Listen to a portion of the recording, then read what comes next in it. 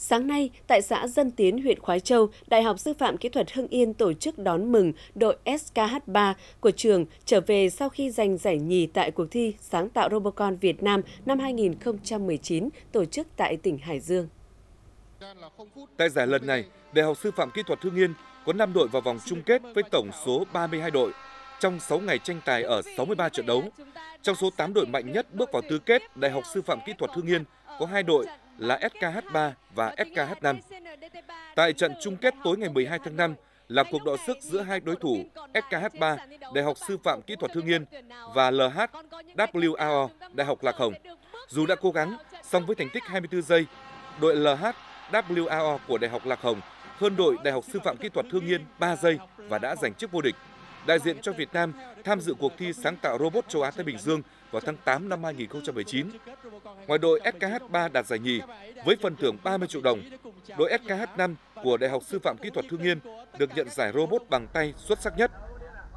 Đại học Sư phạm Kỹ thuật Hưng Yên đã nhiều năm tham gia giải Robocon và đã từng giành giải nhất toàn quốc và khu vực châu Á Thái Bình Dương năm 2015. Cuộc thi năm nay, robot phải di chuyển bằng 4 chân nên việc thiết kế chu kỳ bước phải nhấc lên đặt xuống và điểm chạm rõ ràng. Cơ cấu chuyển động bằng chân khác với bánh xe nên việc đảm bảo cân bằng vững. Các nhiệm vụ robot cần thực hiện cũng khó hơn như phải leo qua đụn cát và bước qua dây. Vì vậy đòi hỏi các đội thi tìm hiểu kỹ hơn yếu tố công nghệ, tích hợp ở robot mới có thể giành chiến thắng. Đây là một cái sân chơi ừ, vô cùng có ý nghĩa đối với các bạn sinh viên, đặc biệt là sinh viên khối kỹ thuật. Và qua cuộc thi này thì các bạn sinh viên cũng ờ, học hỏi được rất nhiều kiến thức và đấy là cái hành trang để giúp các bạn ờ, sau này khi ra trường có thể ờ, làm việc ở các cái vị trí, việc làm ờ, về kỹ thuật, phát triển các cái công nghệ mới. Thế thì nhà trường đã có bề dày trong cái công tác chuẩn bị cho sinh viên tham gia các cuộc thi Robocon hàng năm.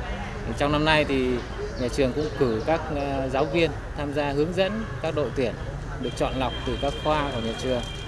Ờ, trong quá trình chế tạo ờ, robot ấy, thì chủ yếu các bạn sinh viên sẽ là người thiết kế chế tạo còn các thầy giáo chỉ đóng vai trò là người hướng dẫn thôi. Chính vì thế mà sau khi mà hoàn thành cái ờ, phần thi Robocon ấy thì các bạn sinh viên trưởng thành lên rất nhiều. Và đấy chính là cái mục tiêu chính của nhà trường trong cái quá trình mà tham gia cuộc thi.